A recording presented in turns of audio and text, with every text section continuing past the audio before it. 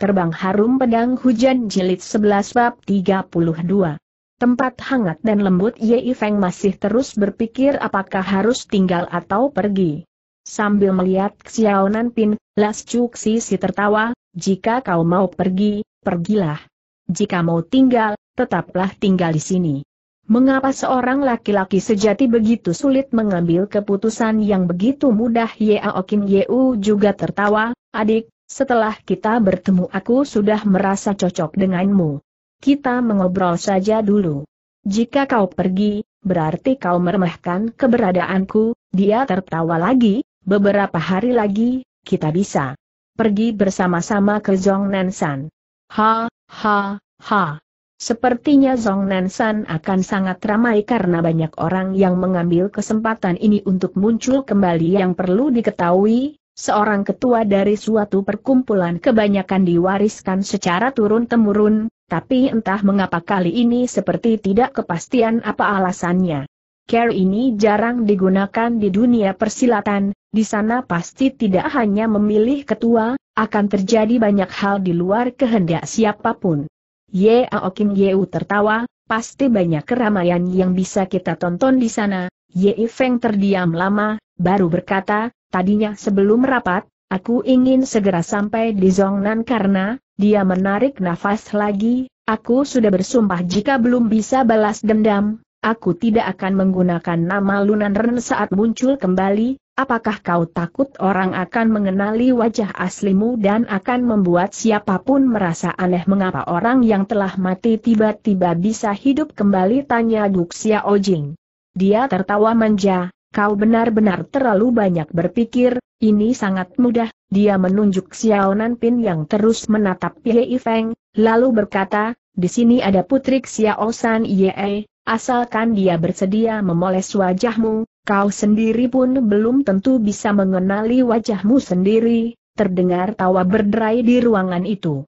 Huo Sen Ye berkata sambil tertawa, kau benar-benar mempunyai banyak care dalam keadaan seperti itu, Ye Feng tidak bisa menolak. Dia berkata, aku akan merepotkan Nona Xiao, sorot matanya bertatapan dengan Matuk Xiao Nanpin. Kedua matu itu sejak tadi terlihat penuh perasaan kepada Ye Feng sehingga membuat hati Ye Feng menjadi panas. Banyak pikiran membuatnya lupa mengalihkan sorot matanya. Wajah Xiao Nanpin menjadi merah, dia menundukkan kepala dan berkata, tidak apa-apa Huo Sen Yee tertawa terbahak-bahak, karena Xiao Nanpin yang berpenampilan seperti seorang laki-laki tapi sikapnya seperti seorang gadis pemalu, jadi semua itu terlihat sangat lucu. Sambil tertawa Guk Xiao Jing pun berdiri, ini baru mirip sikap seorang laki-laki. Sejak tadi kita sibuk, aku akan mencarikan makanan untuk kalian, tangannya menunjuk Ye Aokin Yeu, untuk apa kau terus duduk di sini? Cepat bantu aku awalnya Yao Kim Yeu hanya terpaku, tapi setelah melihat isyarat metu dari istrinya, dia segera melihat Xiao Pin dan segera mengerti maksud istrinya, maka dia pun berpura-pura menggoyangkan kepala, kau selalu menyuruhku bekerja, dia membalikan kepala dan berkata, adik, duduk-duduklah dulu di sini, aku akan segera kembali, Ye Feng melihat punggung mereka berdua yang meninggalkan ruang tamu. Dia teringat ketika di Jiangnan di kota Suzhou, dia pernah mempunyai keluarga seperti mereka, suasananya tenang, nyaman, menyenangkan, dan hangat. Dia hanya bisa menarik nafas.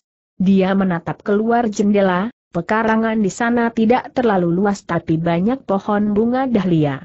Di kedua sisi pekarangan ditanami meihua dan tanaman lainnya, Sebagian pohon hanya tersisa ranting yang layu karena udara dingin. Manusia sulit untuk melepaskan kenangan masa lalunya.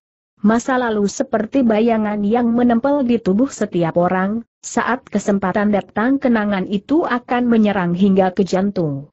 Dengan ekspresi kesepian dia membalikan kepalanya. Ye Feng hampir lupa di dalam kamar ini, kecuali dirinya masih ada satu orang lagi. Saat pikirannya kembali ke dunia nyata, dia baru sadar melihat ada seorang perempuan di sana. Wajahnya tampak penuh pengertian dan jatuh kasihan pada Ye Feng. Waktu itu Ye Feng merasa dia membutuhkan semua ini. Tapi karena dia sudah lama merasa tertindas, gejolak hatinya tidak sampai terlihat di wajahnya. Sepi, sangat sepi, hingga angin berhembus yang lewat pun bisa terdengar jelas. Dalam hembusan angin, tercium wangi Meihwa. Ye Feng tersenyum, apakah Nona Xiao menyukai Meihwa sambil malu-malu Xiao Nanpin menundukkan kepala. Suasana hening lebih menunjukkan beribu bahasa. Orang kesepian paling mudah menerima perasaan orang lain. Begitu pula dengan Ye Feng sekarang. Tiba-tiba terdengar tawa manja memecahkan kesunyian. Guk Xiao datang membawa sebuah nampan besar. Kalian berdua jangan terus berdiri sambil bengong, hayo makanlah bubur panas ini untuk mengusir rasa dingin. Kemudian dia melihat Xiao Nanpin, kenapa wajah siluman perempuan ini begitu merah, Apakah kau telah menghinanya Xiao Nanpin dengan malu-malu menjawab, jangan berkata kelewatan seperti itu tapi dari sudut matanya dia terus melihat Ye Feng. Ye Feng merasa senang sekaligus juga bingung. Sekarang dia lupa pada masa lalunya. Sepertinya dia sudah membagi hidupnya menjadi dua bagian. Sebisa mungkin selama dia tinggal di keluarga hangat ini, dia akan menikmati ketenangan yang sudah lama dia bisa dia nikmati. Dia juga menikmati saat-saat manis yang sudah lama dia tidak bisa dia nikmati, kehangatan seorang gadis. Dua hari kemudian di rumah Wosen Ye tiba-tiba ramai. Xiaonan Pin mengeluarkan sebuah topeng dari dalam tasnya. Topeng tersebut sangat tipis, terbuat dari kulit manusia, Topeng kulit manusia ini sudah lama terkenal di dunia persilatan tapi Yi Feng belum pernah melihatnya. Begitu melihat, membuat bulu kuduknya merinding. Di balik topeng itu ada beberapa lubang kecil mungkin itu adalah lubang mata, hidung, dan mulut. Setelah Ye Feng mengenakan topeng itu, dia merasa ingin muntah. Setelah dipakaikan topeng oleh Xiao Nanpin, di antara wajah dan topeng diselipkan suatu benda kemudian Ye Feng pun bercermin, dia tidak bisa mengenali dirinya sendiri. Karena itu dia bisa merasa tenang bergaul dan bercakap-cakap dengan para tamu yang hadir di rumah Sen Ye. Di antara teman-teman Sen Ye, Ye Feng kenal dengan beberapa orang tapi mereka tidak mengenalinya. Sesudah beberapa hari tinggal di sana, tentu saja hubungan Ye Feng dan Xiao Nanpin semakin akrab. Banyak pendekar merasa aneh karenanya, Xiao Xiang Feizi yang biasanya terlihat dingin sekarang terlihat menyukai orang kecil yang tidak terkenal di dunia persilatan. Pendekar terus berdatangan, dalam waktu sehari terkadang yang datang bertamu jumlahnya bisa mencapai 10 orang bahkan lebih. Ternyata mereka adalah orang-orang yang akan pergi ke Zhongnansan untuk menghadiri rapat dan mampir ke sana untuk beristirahat sejenak. Ada juga beberapa teman dekat Yao Kin Yeu, mereka tinggal menetap, sambil menunggu beberapa hari, untuk pergi bersama dengan Yao Kin Yeu. Walaupun yang datang sangat banyak tapi mereka hanya pendekar biasa. Murid-murid dari sembilan perkumpulan penting tidak terlihat di sana. Walaupun Ye Feng merasa aneh, tapi dia tidak begitu peduli. Sekarang dia malah tidak ingin cepat-cepat pergi ke Zhongnansan, tapi Huo Sen Ye malah sudah bersiap-siap untuk berangkat. Terpaksa Ye Feng harus meninggalkan tempat yang begitu ramah dan lembut ini. Bayangan Xiao Nanpin mengikutinya terus selama beberapa hari ini, perlahan tapi pasti meninggalkan jejak di benak Ye Feng. Walaupun tidak begitu dalam tapi sulit untuk dilupakan. Hari demi hari berlalu, walaupun tidak lama tinggal di sana tapi kehangatannya sangat terasa. Karena hal ini pula Ye Feng harus membayar dengan harga mahal, tapi kita tidak akan membahasnya terlebih dulu karena waktunya belum tiba. Bab 33 Tujuh pedang pelangi terbang udara masih terasa dingin, bumi masih dipenuhi dengan salju. Di kejauhan, gunung tampak bertumpuk-tumpuk, seperti akan mencapai awan. Langit terlihat rendah, awan tampak bertumpuk, terus hingga ke tengah gunung. Ini adalah pemandangan Zhong Nansan. Ye Ifeng melihat suami istri Ye Aokin Yeu yang berjalan di depannya. Xiao Nanpin berjalan di sisinya. Masih ada beberapa pendekar yang berangkat bersama. Mereka terlihat bersemangat, karena mereka hampir tiba di tempat tujuan. Mereka menitipkan kuda-kuda mereka di kota Chang'an. Kemudian melanjutkan perjalanan dengan berjalan kaki. Mereka sempat berpapasan dengan banyak pendekar di sana. Kebanyakan dari mereka mengenal Huo Sen Ye, melihat Lasso Uksi dan Xia Oksi yang Feizi, mati mereka melotot dengan lebar. Xia Onan Pin tidak suka dipandang seperti itu, dia menolehkan kepalanya dan tertawa kepada Ye Feng. Tiba-tiba ada seekor kuda berlari dengan kencang ke arah mereka. Alis Ye Feng sedikit terangkat, tubuhnya sedikit dicondongkan ke sisi, kemudian kurang lebih ada delapan ekor kuda berlari melewati mereka, dan kuda-kuda itu terus berderap di atas salju yang baru saja mencair. Guk Xiao Jing tampak marah, Huo Sen Ye maju selangkah, kemudian menepis dengan telapaknya, dia menepis ke arah pantat kuda yang berada di paling belakang.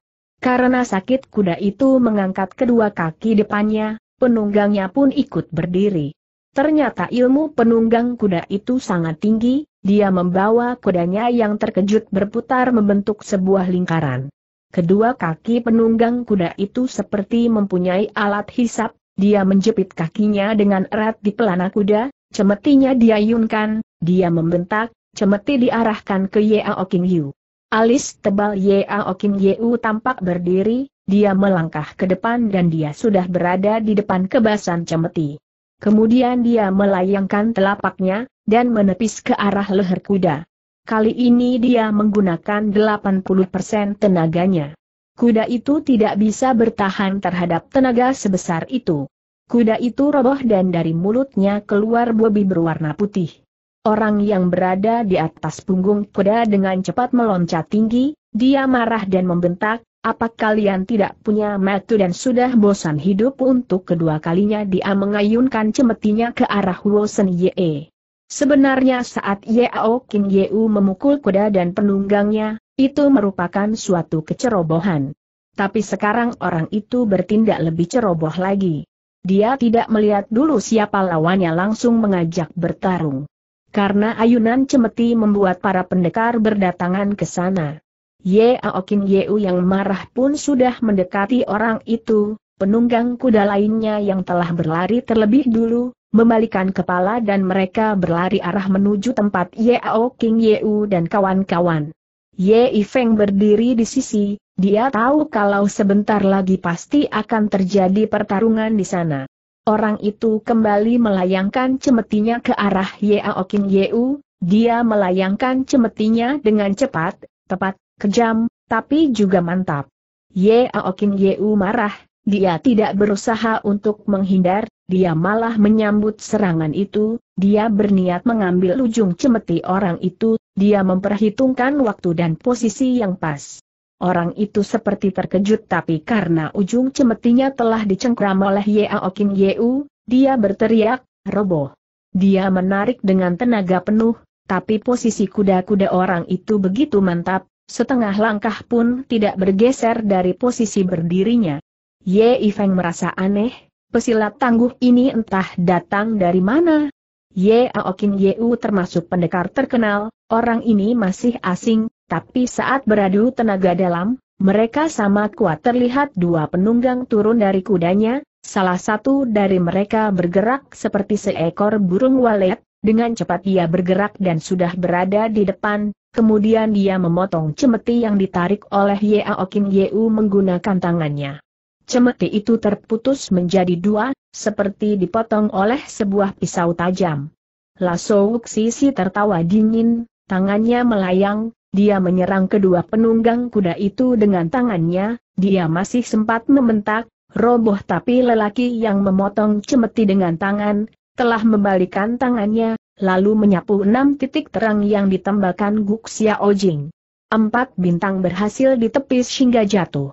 Sedangkan lelaki yang satu lagi, dengan tenang menyapu senjata rahasia yang menyerangnya, dia menepis dengan potongan pecut yang telah terbagi dua tadi.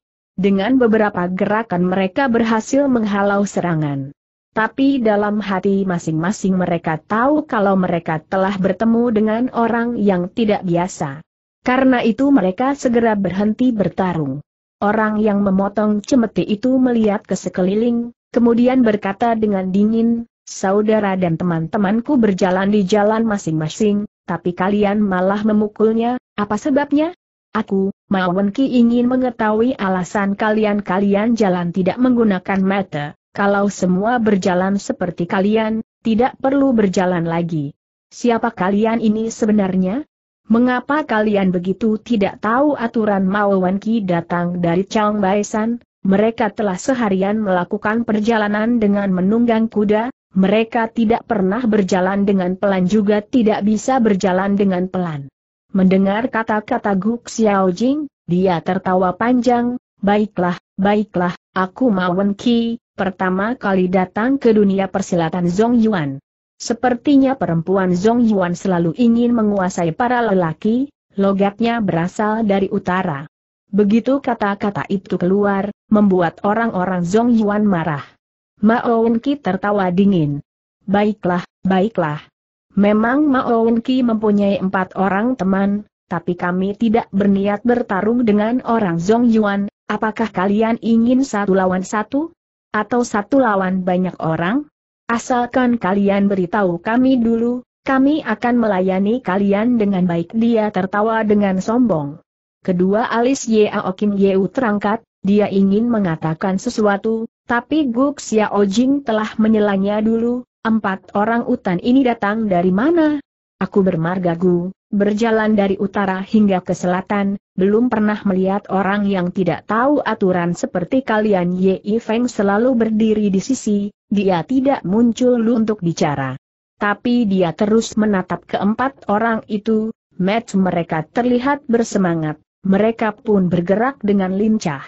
Apalagi lelaki yang bernama Mao Wenki itu, tenaga dalamnya sangat hebat, ilmu telapaknya lebih tinggi dari jurus ZHU Sazuang milik Yuda Jun. Dia tahu kalau keempat orang itu bukan orang kecil, dia berpikir, aku tidak akan membiarkan mereka ribut karena masalah kecil, dia mendekati Mao Ki lalu memberi hormat. Sewaktu Ye Feng berusaha untuk menjelaskan, wajah Mao Ki berubah dan menunjuknya, lama dia tidak bisa bicara. Melihat sikap Mao Ki seperti itu, Ye Feng tanpa terasa melangkah mundur karena terkejut. Dia pun melihat dua orang lainnya, mereka juga sama kagetnya melihat Ye Feng. Sampai-sampai orang yang sejak tadi hanya duduk di atas kuda langsung turun, dia berdiri dengan bengong menatap Ye Feng. Karena itu bukan hanya Ye Feng yang merasa aneh, Ye Ao King Yu, Xiao Pin, Guk Xiao Jing pun merasa aneh, apa yang keempat orang itu lakukan? Setelah lama Mao Ki baru bisa menguasai dirinya dan dengan suara gemetar dia berkata, adik ketiga, walaupun kau telah melukai kaki kakak tertua, tapi karena sejak kecil kau telah kuasuh, aku, aku dan kau sudah seperti saudara kandung, jangankan kau berbuat tidak sengaja, sekalipun kau ingin memotong kedua kakiku, aku tidak akan menyalahkanmu, mengapa kau, dia yang tertua di antara keempat orang itu, dia sampai tidak bisa bicara karena gejolak hatinya, pelan-pelan dia mendekati Ye Feng, dia berjalan dengan terpincang-pincang. Kedua orang itu terus memanggil Ye Feng dengan sebutan adik ketiga dan mereka memanggilnya dengan penuh perasaan. Hal ini malah membuat Ye Feng bingung, dia melihat Pak Tua Pincang itu telah berjalan mendekatinya, entah apa yang harus Ye Feng lakukan. Adik ketiga, beberapa tahun ini kau pergi ke mana saja? Mengapa kau menjadi kurus dan hitam begini? Adik ketiga, kau, kakakmu ini sudah tua, kaki pun sudah tidak bisa bergerak lincah, kalau bukan karena masih ada sedikit harapan mencarimu, aku benar-benar tidak akan meninggalkan Chang Baisan adik ketiga, walau bagaimanapun kau harus ikut kami pulang, kau mau apa pasti akan kuberikan, sambil berkata seperti itu dia menghela nafas, hal ini membuat Ye Feng bingung, pelan-pelan dia berkata, kau, Guk Xiao Jing pun tampak kebingungan, dia berjalan ke arah mereka, lalu berdiri di depan Pak Tua itu, hei, apakah kau sudah gila? Siapa yang kau sebut adik ketigamu? Lebih baik kau lihat dengan jelas terlebih dulu tubuh Pak Tua itu tadi sedikit bungkuk, sekarang tiba-tiba saja dia meluruskan tubuhnya, sorot matanya memancarkan cahaya menakutkan, dia membentak Guk Xiao Jing, siapa kau? Berani sekali mencampuri urusanku dia berkata sebentar, kemudian dengan marah dan membentak, ternyata kau, siluman kecil. Kau menarik adik ketiga turun dari Chang Bai San dia membalikan kepalanya dan memberi perintah, adik kedua dan adik keempat, tangkap perempuan ini kata-katanya baru selesai, Ma Wenki dan kedua lelaki itu berlari dan mengepung Guk Xiao Jing. Kemudian di dari balik ikat pinggang mereka mengeluarkan sebuah benda dan melayangkannya, ternyata itu sebilah pedang panjang. Pedang itu bisa menjadi pedang lemas atau keras, pedang itu terbuat dari baja kuat. Melihat istrinya dihina mereka, Huo Sen Ye membentak dan dari dalam tasnya dia melayangkan sesuatu ke arah Mawen Ki. Dia pun berlari ke arah Pak Tua Pincang itu dan mulai menyerangnya. Senjata rahasia Huo Sen Ye yang dahsyat itu baru keluar, senjata rahasia itu bernama Wule Ishu yang sangat terkenal di dunia persilatan. Saat senjata itu mengenai ujung pedang, langsung meledak, api biru membakar pedang itu. Mao Wenki terkejut, dia melayangkan pedang panjangnya, berniat memadamkan api biru itu, tapi api berkobar semakin besar, sepertinya api itu akan membakar tangannya. Dalam keadaan bahaya ini, dia tidak bisa banyak berpikir, dia menusukkan pedang sepanjang 1.50 meter itu ke dalam salju. Hanya terlihat pegangan pedangnya sekitar 10 cm yang mencuat ke atas. Ye Aokin Yeu berteriak, dia terus mundur hingga 2-3 meter. Kemudian dia pun roboh. Ternyata tadi dia menyerang Pak Tua itu dengan kedua tangannya. Pak tua itu tidak berusaha menghindar, malah menyambut serangan Ye Aokin Yeu, terjadilah adu telapak tangan. Ye Aokin Yeu tergetar. Guk Xiao Jing berteriak, dia ingin berlari mendekati suaminya, tapi ada seseorang yang sudah menghadangnya, para pendekar di sana berteriak, ada yang berlari karena melihat Ye Aokin Yeu terluka, ada yang marah-marah, tapi tidak ada seorang pun tahu apa yang sebenarnya terjadi di sana. Orang yang tahu bagaimana hebatnya tenaga dalam Pak Tua itu, diam-diam memuji. Xiaonan Pin yang sejak tadi diam tidak bersuara, sekarang melihat situasi begitu kacau, dia ingin berlari ke sana, tapi Pak Tua itu sudah membentak, suaranya besar menutupi suara orang yang marah-marah dan juga suara hingar-bingar di sana menggetarkan gendang telinga sehingga telinga orang-orang di sana berdenging.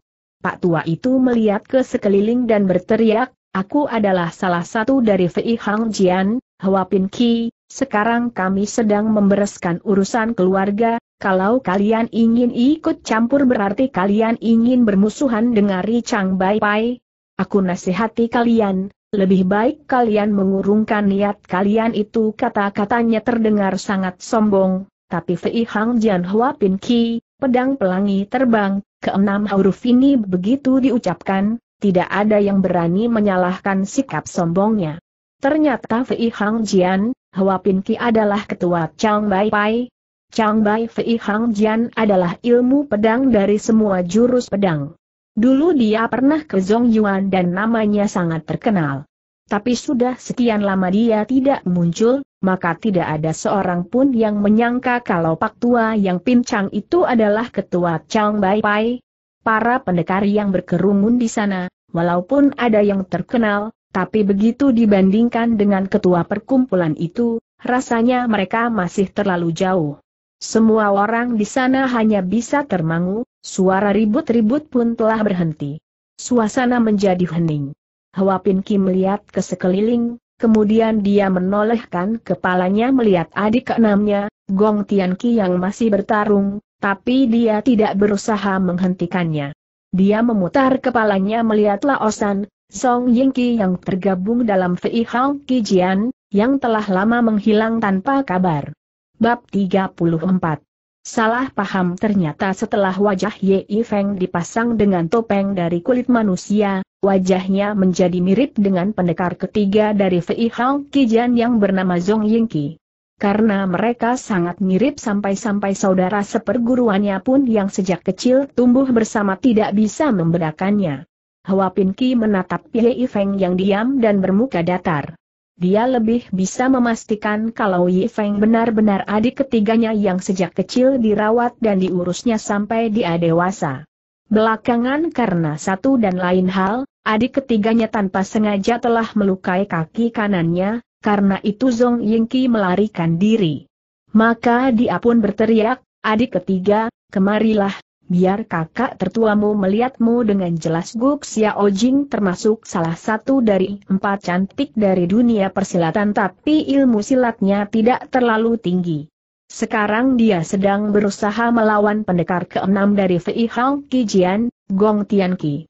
Setelah melewati puluhan jurus, dia sudah tidak kuat dan terus berkeringat.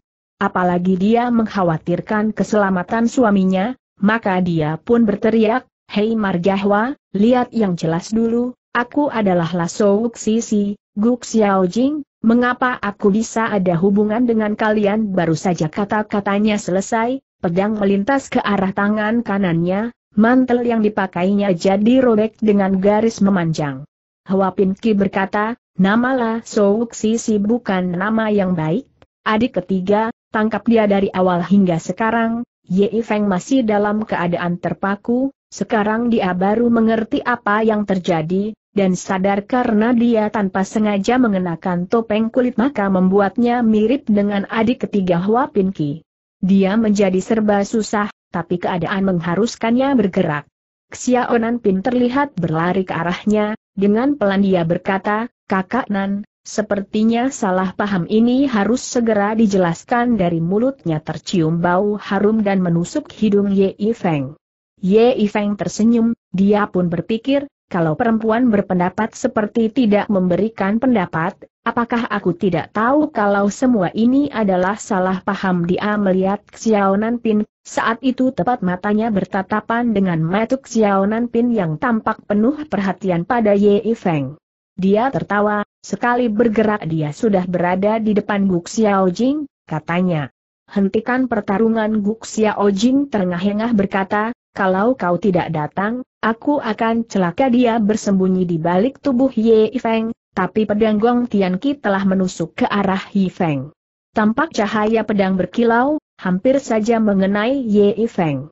Ye Feng tersenyum, sekarang Gong Tianqi yang terkejut, dia berteriak, kakak ketiga, tapi pedangnya telah meluncur, tenaga sudah dikerahkan, pedang pun tidak bisa ditarik, terus meluncur siap menusuk Ye Feng. Hua Pinki berteriak. Tapi masih dalam keadaan tersenyum, Ye Feng sama sekali tidak menggerakkan bahunya, tubuhnya tidak ditekuk, dia sudah menjauh tiga meter. Hua Pinki seorang pemimpin dan juga seorang ketua, melihat ilmu meringankan tubuh Ye Feng begitu tinggi, dia benar-benar kaget, adik ketiga, ilmu silatmu maju pesat Ye Feng tersenyum lagi, dia tahu semenjak jalan darah Du dan Renya tembus, ilmu silatnya maju pesat. Sampai-sampai ketua Chang Bai Pai pun mengaguminya. Dia memberi hormat kepada Hua Pin Ki, namaku adalah Ye Feng, aku sudah lama mendengar nama besar tetua Hua, tapi aku tidak mempunyai kesempatan untuk berkunjung, hari ini kita bisa bertemu, aku merasa sangat beruntung kata-katanya belum selesai, Hua Pin Ki sudah menyela, adik ketiga, apa maksudmu? Apakah, apakah selama beberapa tahun ini kau belajar pada guru terkenal? Dan kau tidak mau mengakui kalau kami adalah kakak dan adik seperguruanmu? Kau, kau tidak boleh melakukan hal ini dia bicara dengan suara bergetar. Para pendekar yang berkerumun di sekitar sana tidak tahu apa yang terjadi di sana. Mereka hanya melihat Ye Feng dengan pandangan menghina, karena orang yang telah mengkhianati perkumpulan adalah orang yang telah melakukan kesalahan besar. Apalagi melihat sikap Hua Pinki sekarang, benar-benar membuat siapa pun menjadi sedih karenanya. Ye Feng baru berniat akan menjelaskan, tapi Mao Wan Ki sudah mendekatinya dan membentak, adik ketiga, kau benar-benar keterlaluan. Kau dan kakak tertua memang hanya mempunyai hubungan sebagai kakak dan adik seperguruan, tapi semenjak guru afat ilmu silat yang kau miliki semua itu kakak tertua yang mengajarkannya, sekarang kau bersikap seolah tidak mengenal kami, tapi mana mungkin kau sampai tidak mau mengenal kami? Kau titik benar-benar titik tidak punya perasaan Ye Feng menghela nafas dalam-dalam, dia tahu kalau hal ini sangat sulit untuk dijelaskan. Tapi di depan orang-orang persilatan, dia tidak bisa membuka topengnya dan menyebutkan identitasnya begitu saja. Dia terdiam sebentar, lalu berkat, namaku adalah Ye Feng, mungkin aku mirip dengan adik ketiga tetua, hingga terjadi salah paham ini, aku tidak bisa menjelaskan, Xiaonan Pin tiba-tiba berlari ke arah mereka dan berkata, Tetua Hua, dengarkan logat bicaranya, sama sekali tidak mirip dengan kalian, apakah dia orang asli Chang Baisan atau bukan bisa langsung ketahuan, logat bicaranya berasal dari Jingnan, Diam-diam Ye Feng memuji kepintaran Xiao Nanpin, dia merasa kalau perempuan biasanya lebih teliti dalam hal seperti ini, dia memperhatikan hal yang tidak diperhatikan orang lain. Hua Pin Ki, Ma Wen Ki, Gong Tian Ki, dan seorang lelaki yang sejak tadi diam saja yang bernama Wang Zhi Ki, empat orang dari Fei Hong Ki Jian, sekarang hanya bisa termangu, mereka dengan teliti menatap Ye Feng. Guk Xiao Jing memapah Yao King Yeu yang tergetar dan sekarang terluka ke arah mereka, dia marah kepada Fei Hong Kijian. Hei Margahwa! Kau sembarangan melukai orang, selama gunung masih menjulang air masih mengalir, kami suami istri pasti akan mencarimu untuk membalas perbuatanmu ini dia menghentakkan kakinya lalu melihat ke sekeliling. Sobat-sobat sekalian, kalian lihat sendiri, Ketua Chang Bai Pai tidak bisa mengurus adik seperguruannya, hingga adiknya malah melarikan diri, maka dia pun menangkap orang yang ada di jalan dan memaksanya menjadi adik seperguruannya, nama Fei Hong Kijian memang terkenal, dan orang-orang tidak akan berdaya, karena marah, Hua Pinki menjadi gemetar, dia marah lalu berteriak, hentikan kata-katamu tapi Guk Xiao Jing malah menghentakkan kakinya lagi, dia mendekat dan bertanya, kau mau apa? Mau apa? Apa karena ilmu silatmu lebih tinggi lalu kau bisa sembarangan menghina orang? Lihat dulu yang jelas, apakah memang benar dia adalah adik seperguruanmu? Dunia ini benar-benar aneh, memaksa orang lain menjadi adik seperguruannya suaranya nyaring, bicaranya cepat, membuat Wapinki tidak bisa menanggapinya, wajahnya tampak berubah-ubah. Lasso Wuxi si berhenti sejenak, melihat Ye Feng dan Xiao Nanpin. Adik Ye dan Xiao San Mei, kami akan pergi dulu, suamiku terluka, sepertinya kami tidak jadi pergi ke Zhongnan San. Dia menghentakkan kakinya lagi, entah mengapa tiba-tiba bisa datang masalah seperti ini. Hei, Xiao San Mei, cepat bawa adik Yei pergi dari sini, jangan sampai digigit anjing gila. Kalau terus di sini banyak yang tertawa sampai keluar suara, Hawa Pinki membentak, kalau tidak melihat kau adalah seorang perempuan bodoh, hari ini aku akan membunuhmu Guk Xiao Jing membalikan kepala dan menjawab, Margahwa, jangan sembarangan bicara. Siapa yang bodoh? Kau atau aku? Siapa yang memaksa orang lain menjadi adikmu?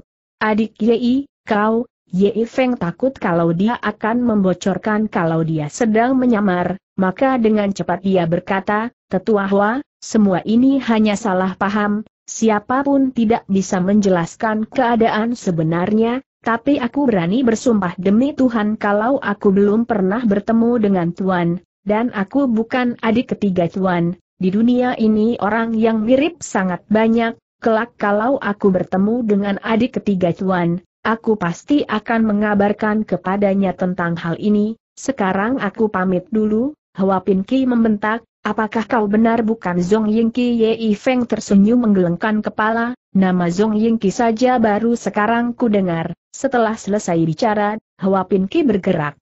Hanya sebentar di langit tampak ada yang berkilau. Ye Feng tidak menyangka bayangan pedang siap menindihnya. Jurus itu cepat seperti kilat, membuat Ye Feng tidak ada waktu untuk berpikir mengapa Hua Pinki berniat membunuhnya. Dia hanya merasa jurus Hua Pinki seperti air yang ditumpahkan. Semua tempat seakan terkena jurus ini. Tubuhnya telah tertutup bayangan pedang. Di antara mati dan hidup, kakinya terus bergeser, dia melihat ada celah di sisi kiri bawah. Karena telah berpengalaman, dia memutar kakinya dan berlari ke arah kiri. Baru saja dia bergerak, bayangan yang memenuhi langit itu seakan sudah tahu kalau Ye Feng akan bergerak ke arah sana, Tiba-tiba bayangan yang memenuhi langit itu berubah dari cahaya menjadi suara yang membawa angin kencang. Dan suara itu mengikuti Ye Feng yang berlari, dia tidak bisa menghindar lagi. Dia memejamkan matanya, seperti sedang menunggu sabetan pedang. Perubahan yang terjadi begitu tiba-tiba, setelah semua orang melihat dengan jelas, cahaya biru telah berada di dada Ye Feng. Para pendekar berteriak, Xiaonan Pin hampir pingsan. Tapi cahaya biru yang berasal dari pedang Hua Pin Ki ketika hampir mengenai dada Ye Feng tiba-tiba berhenti begitu saja. Ye Feng membuka matanya, dia melihat kedua mata Hua Pin Ki yang tampak bersemangat menatapnya. Dalam keadaan serba cepat ini, membuat Ye Feng banyak berpikir mengenai serangan pedang itu, serangan itu datang saat dia tidak waspada, berarti walaupun dia mengalami sedikit kemajuan untuk tenaga dalamnya tapi untuk kemampuan ilmu silatnya, dia masih berada di bawah orang lain. Kalau tidak dia tidak akan mengalami peristiwa seperti ini. Dia merasa menyesal, mengapa sewaktu berada di rumah Yao King Yeu dia tidak membaca buku Tian Xing Miji, malah terus-menerus merasakan dan menikmati kehangatan seorang perempuan. Kalau terus seperti ini, Kapan aku bisa membalas dendam Hua Pinki menarik pedangnya dan menghela nafas panjang. Saat seperti ini, tiba-tiba dia menjadi sangat tua, dia menghela nafas kembali dan berkata pada Mao Ki, dia bukan Laosan, tapi mengapa dia begitu mirip Mao Ki menundukkan kepala, Gontian Ki berlari dan menunggang kembali kudanya. Hua Pinki menatap kuda yang telah roboh, pedangnya melayang dan menusuk tubuh kuda itu berkali-kali, Diiringi suara ringkikannya, kuda itu pun langsung mati. Hwa Pinki menghela nafas lagi, dia berlari ke arah kuda Maowenki. Tiga ekor kuda dengan empat orang, seperti kedatangan mereka tadi, sekarang pun mereka kembali berlari dengan kencang ke arah depan. Ye Ifeng masih terpana, sewaktu dia mengangkat kepalanya, Xiaonan Pin tersenyum lembut kepadanya dan berkata, jangan bersedih, Pak tua itu memang sangat liai, Ye Feng tersenyum mendengar hiburan yang diberikan Xiaonan Pin. Xiaonan Pin tahu dia tidak perlu bercerita panjang lebar, karena melihat senyum Ye Feng tadi, dia tahu kalau Ye Feng sudah mengerti kondisinya. Guk Xiao Jing memapah Ye Aoking Ye U yang tampak pucat, pelan-pelan dia berjalan ke arah mereka, Pak tua itu sepertinya gila, lihat tanpa banyak bicara, dia langsung pergi entah ke mana, dia melihat Ye Feng dan Xiao Pin, mulutnya penuh dengan tawa, lukanya tidak begitu berat, tapi juga tidak bisa dianggap ringan, aku harus tetap mengantarkannya pulang. Hei, San Mei, adik ketiga seperguruan, kau mau ikut pulang bersamaku, atau ikut dengannya wajah Xiao Pin menjadi merah, Guk Xiao Jin Ge tertawa, lebih baik kau ikut dengannya, Aku tidak berani membawa siluman perempuan ini, dia berkata pada Ye Feng, aku serahkan San Meiku ini kepadamu. Kau harus berbaik hati padanya, jangan menghinanya, kalau kau menghinanya, aku tak akan sudi mengampunimu Ye Feng tertawa kecut, wajah Xiaonan Pin menjadi merah lagi, perempuan ini biasanya terkenal dengan kekejamannya karena sering membunuh orang. Beberapa hari ini dia terlihat begitu lembut, Orang yang pintar, pasti akan tahu apa yang telah mengubahnya menjadi seperti ini. Sejak dulu hingga sekarang, kekuatan yang mengubahnya adalah cinta. Xiaonan Pin sendiri tidak menyadarinya, entah sejak kapan dia mulai mempunyai perasaan seperti ini. Awalnya dia berusaha menjelaskan pada dirinya sendiri kalau dia hanya merasa kasihan kepada laki-laki yang telah kehilangan istri itu. Tapi sekarang, dia sendiri pun tidak bisa mengingkari kalau itu adalah rasa cinta. Bab 35 Rapat di Zhongnan San Ye Feng masih terpaku, walaupun tusukan pedang Hua Pinki tidak sampai melukainya tapi ternyata sudah melukai hatinya.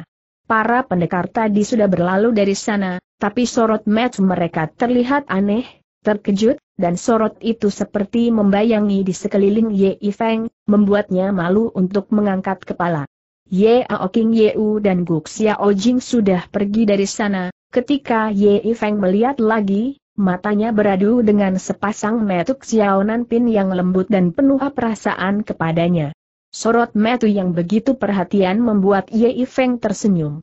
Tiba-tiba terdengar suara lonceng dari arah kuil, Xiao Nanpin mendekatinya, sekarang kita harus naik gunung, kemudian dia berkata dengan pelan, maaf, aku sudah membuatmu menghadapi kesulitan seperti ini, anehnya adik ketiga mereka bisa begitu mirip denganmu bukan salahmu, Ye Feng tersenyum. Orang yang berkerumun sudah bubar. Dari kejauhan terlihat seorang biksu muda berpakaian biru mendekati mereka sambil melambaikan tangan, perkumpulan kami sedang mengadakan pemilihan ketua, jika kalian datang untuk mengikuti rapat ini, cepatlah naik gunung sekarang, Ye Feng mengucapkan terima kasih kepada biksu muda itu. Dia segera berangkat bersama dengan Xiao Nanpin. Karena Xiao Nanpin masih berpakaian seperti seorang laki-laki, maka mereka bisa berjalan dengan leluasa. Baru saja mereka berjalan sebentar, seorang biksu datang lagi, dan bertanya, Chuan datang dari mana? Apakah perlu aku membawa Chuan naik gunung menilik usia biksu itu belum terlalu tua? Ye Feng terpikirkan sesuatu, dia bertanya, aku tidak berani merepotkan guru, kami akan naik gunung sendiri. Biksu itu menatap mereka dengan bingung, kemudian tanpa bertanya dia pun pergi. Di depan ada belokan, di sana terdapat sebuah rak. Di atas rak diletakkan segentong air teh. Seorang biksu muda sedang menuangkan teh. Melihat Ye Feng dan Xiao Pin datang, dia menyapa, sahabat, minumlah dulu baru melanjutkan perjalanan. Ye Feng tertawa dan mengucapkan terima kasih tapi dalam hati dia memikirkan sesuatu. Terlihat ada dua biksu muda datang lagi dari arah jalan kecil, pakaian mereka masih terlihat baru dan berwarna biru. Salah satu dari mereka tertawa kepada Ye Feng, Sahabat, cepatlah naik gunung, rapat akan segera dimulai semakin memanjat naik, Ye Feng semakin merasa curiga. Diam-diam dia berpikir, melihat usia dan ilmu silat biksu-biksu tadi, dari cara mereka berjalan, paling-paling mereka hanya generasi ketiga. Tapi Biksu Miaoling pernah mengatakan murid generasi kedua, karena ilmu silat mereka tidak terlalu tinggi, mereka sudah keracunan hingga meninggal, dari mana datangnya begitu banyak biksu muda, ketika dia sedang berpikir, ada dua biksu muda yang lewat lagi, mereka tersenyum kepada Yi Feng.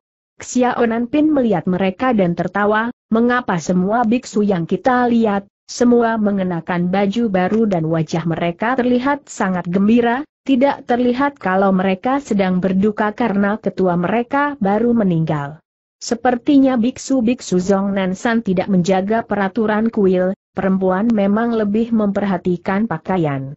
Ye Feng mendengar perkataan Xiao Pin, dalam hati terpikirkan sesuatu lagi, biksu-biksu itu mencurigakan, dia bertanya kepada Xiao Pin, apakah kau ingat, biksu-biksu tadi memanggil kita dengan sebutan apa? Xiao Pin tampak berpikir sejenak, dia seperti baru menyadarinya, benar, mereka tidak memanggil kita dengan sebutan Chuan melainkan sahabat, berarti biksu-biksu tadi hanya berpura-pura, Xiaonan Pin berkata lagi, aku curiga, biksu-biksu itu baru memakai pakaiannya itu hari ini, mungkin saja kemarin-kemarin mereka hanya perampok-perampok kecil, dia tertawa lagi, sebenarnya aku tidak berniat menghina mereka, kau lihat mereka dari atas ke bawah, Apakah mereka seperti seorang biksu? Ye Feng mengerutkan alis?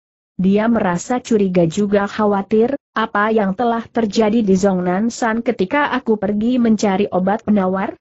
Mengapa ketua mereka tiba-tiba bisa meninggal? Apakah Chuan Jian, San Ming, serta putrinya masih berada di Zongnan San? Dia mempercepat langkahnya, memutari beberapa belokan. Setiap belokan selalu terlihat ada satu sampai dua biksu muda yang menjaga dan memberi tamu yang lewat minum. Dia merasa curiga tapi dia tidak berani bertanya pada biksu-biksu tersebut, karena dia belum mendapatkan bukti. Dia berharap Chuan Jian dan yang lainnya masih berada di gunung. Jika begitu semua kecurigaannya akan terjawab. Maka dia mempercepat lagi langkah kakinya. Xiaonan Pin terus berjalan di sisinya, dia tidak tahu apa yang sedang Ye Feng pikirkan, juga tidak bisa menebak apa yang sedang Ye Feng pikirkan. Semenjak dia memakai topeng kulit manusia, ekspresi wajahnya tidak terlihat. Satu kali belokan lagi mereka sudah berada di depan kuil.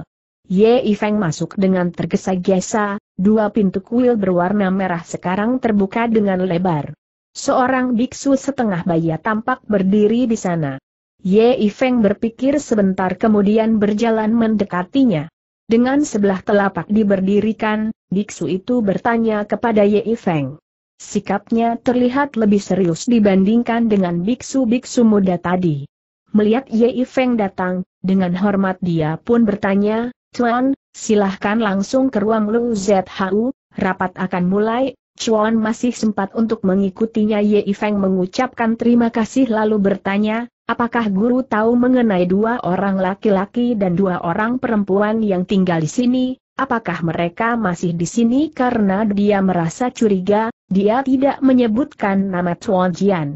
Biksu setengah baya itu melihat Ye Feng, sikapnya terlihat lebih hormat lagi lalu berkata, Apakah Chuan adalah teman dari dua tetua yang telah menolong beberapa ratus murid Zhongnan Pai? Tiba-tiba dia menarik nafas panjang, kedua tetua itu sudah pergi beberapa hari lalu, Ye Feng segera bertanya, apakah guru mengetahui mereka telah berapa lama pergi dan ke mana perginya mereka?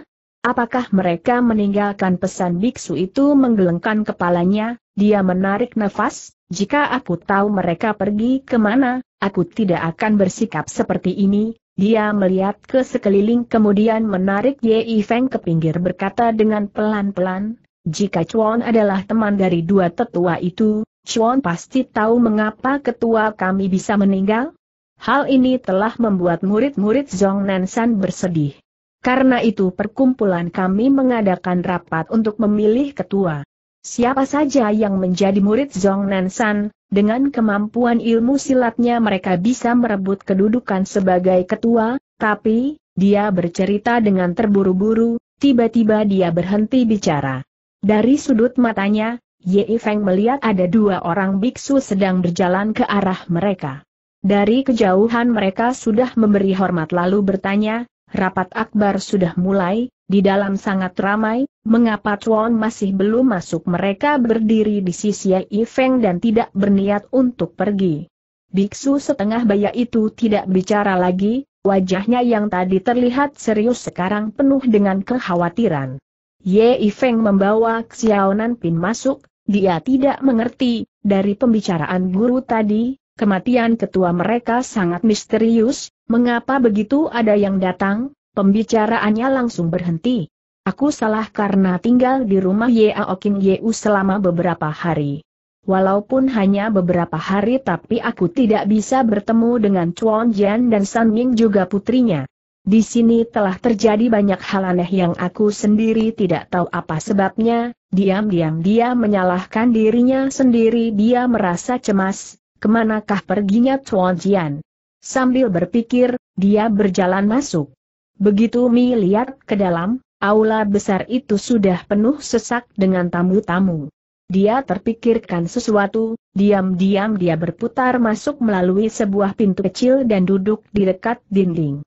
Orang-orang yang ada di dalam memperhatikan seorang pak tua yang sedang berdiri di depan, tidak ada yang yang memperhatikan Ye Feng ketika dia masuk. Pak tua itu berkata, sudah lama aku tidak berkelana di dunia persilatan, tidak disangka teman-teman belum melupakanku. Dia tertawa lagi, kalian memilihku untuk menjadi pembawa acara ini, aku merasa sangat berterima kasih.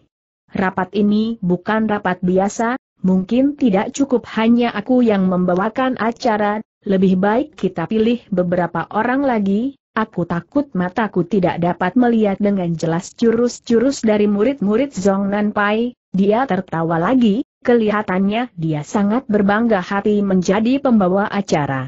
Ye Feng tidak mengenali Pak Tua itu, tapi dia bisa menebak kalau Pak Tua ini dipilih oleh banyak orang untuk membawakan acara dalam rapat akbar ini.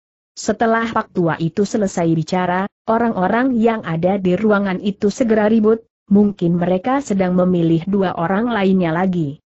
Ye Ifeng melihat ruangan bagian kiri, kanan, dan tengah, di sana dipenuhi dengan para pendekar, mereka mengobrol dengan suara kecil. Di sisi ruangan, berdiri biksu-biksu yang mengenakan baju berwarna biru, mungkin mereka adalah murid-murid Zong Nan Pai. Tiba-tiba Xiao Nan Pin menarik lengan bajunya dan berbisik, Kakak Nan, bukankah Pak Tua itu adalah Bagua Senzong Fan Shong Pin? Tidak disangka dia muncul di Zong Nan San, apakah kakak Nan mengenalnya Ye Feng menggelengkah kepala, aku tidak kenal dengannya, tapi aku tahu dia sangat terkenal, Metu dia masih terus melihat para pendekar yang ada di aula itu.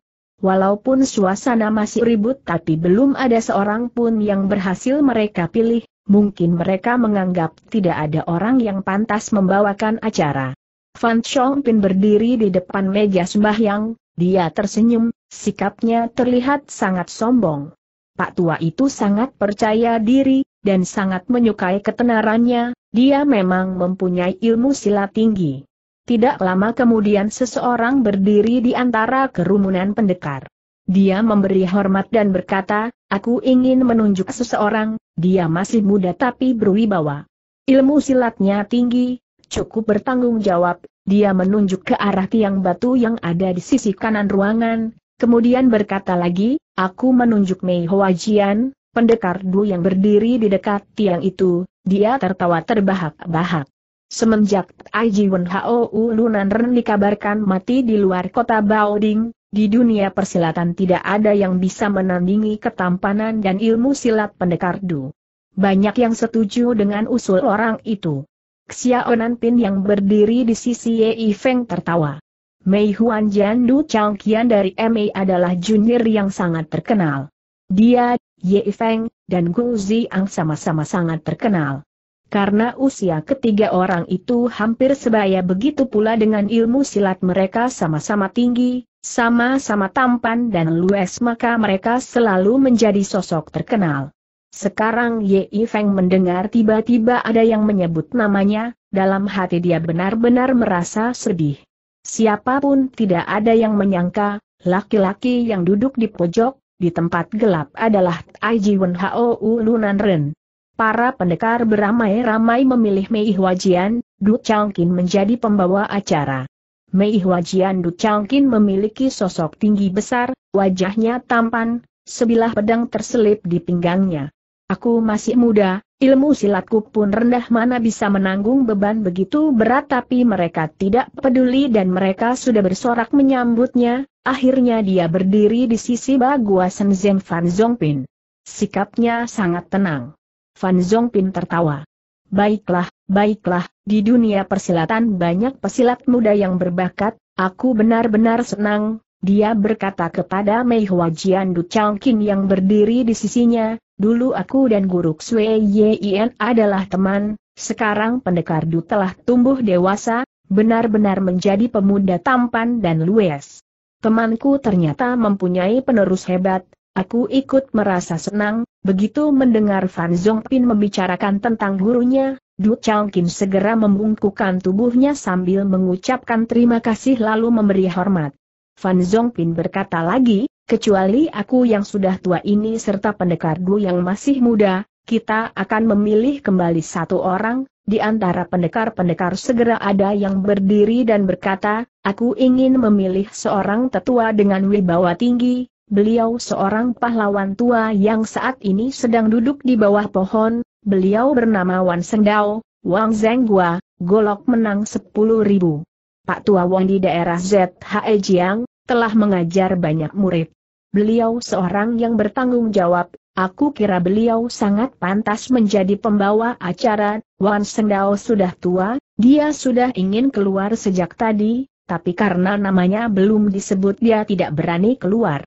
Pak tua ini tidak tahu diri, belum lagi ada sambutan baik dari pendekar lainnya, dia sudah keluar, tiba-tiba di antara para pendekar ada yang tertawa dingin, Seseorang segera muncul, namaku adalah Kian Yei, orang yang ingin ku perkenalkan adalah diriku sendiri begitu orang itu keluar dan berkata seperti itu, membuat pendekar-pendekar di sana menjadi ribut, apalagi orang itu masih terlihat muda tapi sikapnya sangat sombong, tidak menganggap pendapat orang lain.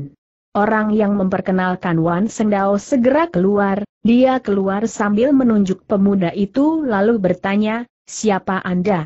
Aku sering berkelana di dunia persilatan tapi belum pernah melihat orang seperti kau. Kau anggap dirimu itu siapa hormatilah pendekar Wong pemuda yang bernama Kian Yei itu tetap berdiri di tempatnya. Dia tidak mempedulikan orang yang protes itu, dia tetap dengan dingin berkata, orang-orang yang kalian tunjuk seharusnya mempunyai ilmu silat tinggi, Metu harus jeli baru bisa menjadi seorang wasit yang adil. Memang aku tidak bisa memenuhi semua persyaratan tapi walau bagaimanapun aku lebih baik dibandingkan Pak Tua yang sudah terlihat payah ini, maka aku memberanikan diri memperkenalkan diriku, dia selesai bicara, para pendekar di ruangan itu ribut lagi. Hal ini membuatnya marah, nafasnya terengah-engah, dia berkata, baiklah, baiklah, Aku hanya seorang pak tua yang tidak berguna tapi aku ingin mencoba ilmu silat seperti apa yang kau miliki. Bocah tengik tidak tahu diri, berani-beraninya di depan banyak pendekar menyombongkan diri. Kita tarung sekarang, dia membuka baju panjangnya, lengan bajunya digulung, dia bersiap-siap bertarung dengan pemuda itu.